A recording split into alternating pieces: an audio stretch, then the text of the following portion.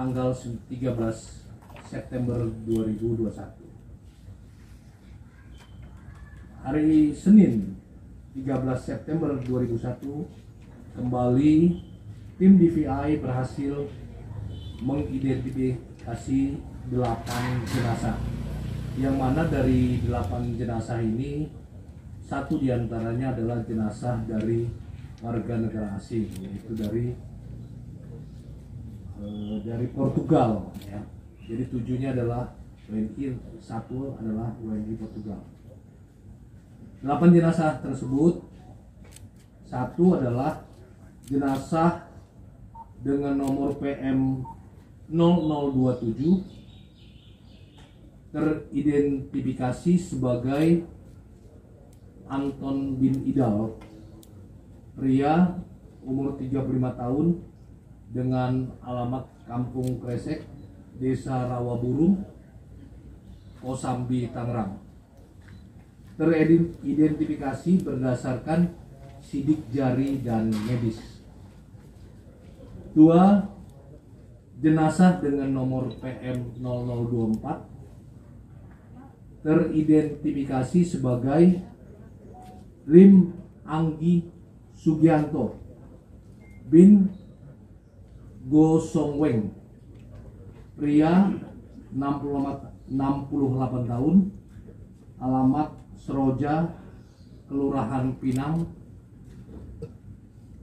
Kota Tangerang.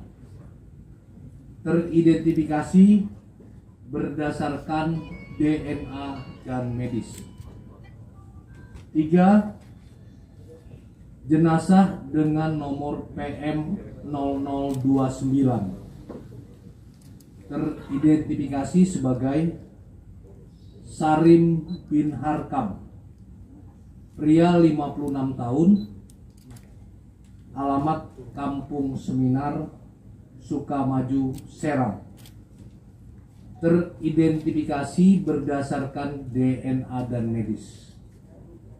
Empat jenazah dengan nomor PM 001 teridentifikasi sebagai Reskil Hairi bin Nusrin. Pria 23 tahun alamat Jalan Kebagusan Pasar Minggu Jakarta Selatan. Teridentifikasi berdasarkan DNA dan medis. 5 jenazah dengan nomor PM 005 teridentifikasi sebagai Sumantri J. Jayaprana binti maaf ini bin maksudnya bin Darman pria 35 tahun alamat Jalan Matraman Menteng Jakarta Pusat teridentifikasi berdasarkan DNA dan medis. 6 jenazah dengan nomor PM 0030 teridentifikasi sebagai Iwayan Tirta Utama bin Nyoman Sami pria 36 tahun alamat Jalan Tiga Putra Limo Kota Depok Jawa Barat teridentifikasi berdasarkan DNA dan medis. 7 jenazah dengan nomor PM 0028 teridentifikasi sebagai Petra Eka bin Suhendar pria 25 tahun alamat Jalan Manggis Manggarai Jakarta Selatan. Teridentifikasi berdasarkan DNA dan medis. 8 jenazah dengan nomor PM 0015 teridentifikasi sebagai Ricardo Usumane Embalo Antonio Embalo warga negara asing yaitu Portugal pria 51 tahun Jadi ada delapan yang teridentifikasi hari ini, sehingga jumlah total yang sudah berhasil teridentifikasi sampai dengan hari ini 18 orang. Sehingga dari 41 ada 23 jenazah lagi yang belum teridentifikasi. Tim terus bekerja, semoga besok atau lusa eh, semua jenazah bisa teridentifikasi.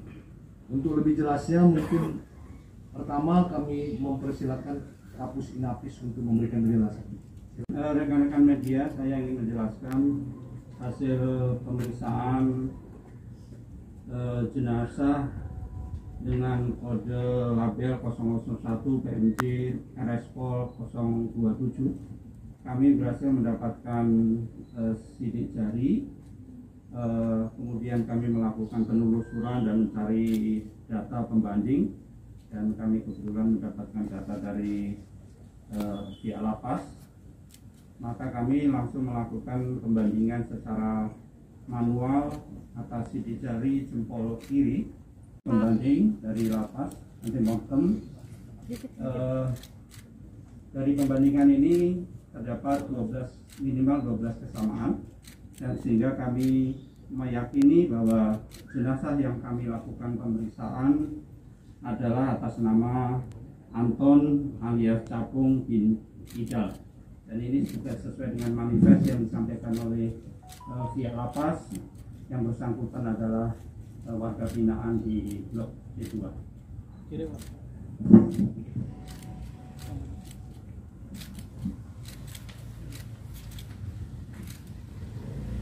Terima kasih Pak Kabak. Jangan lupa subscribe ya.